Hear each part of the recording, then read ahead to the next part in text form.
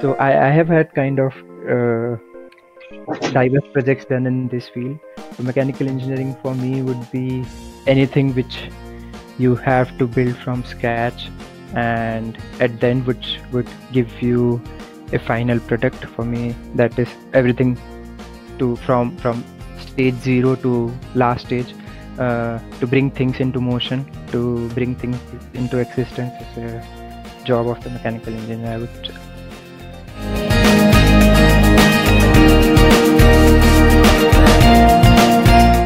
you you take only three courses uh, or at max people take four but four also becomes pretty hectic. So what is advisable is you either take two or three courses per semester and your classes would be like for one course you would be spending around three hours uh, per week in lecture and maybe say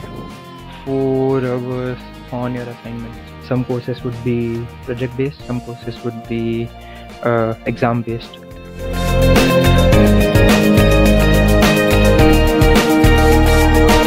for me uh, Virginia Tech mechanical engineering it's there were th- three mechanical courses which are compulsory. And apart from that you can take any course from any department uh, and one math course course required. And uh, uh, since i'm doing thesis so uh, it's like seven courses compulsory and nine credits for thesis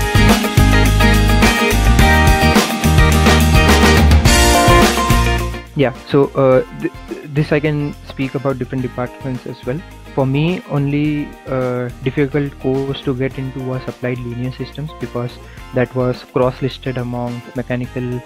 aerospace and electrical departments. And this this situation worsens for especially uh,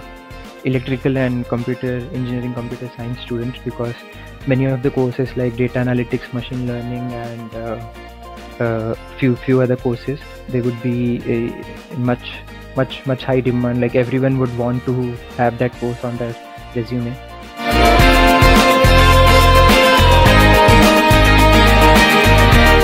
Yeah yeah you can do that. As long as you are satisfying your uh, requirements for your uh, masters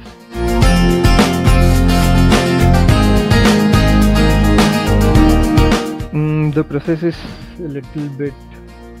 uh, hectic and a little bit tough but i it's possible. You can make a switch uh, to another department.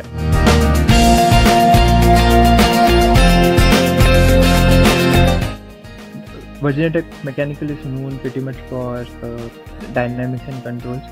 so most of them are trying to specialize in that area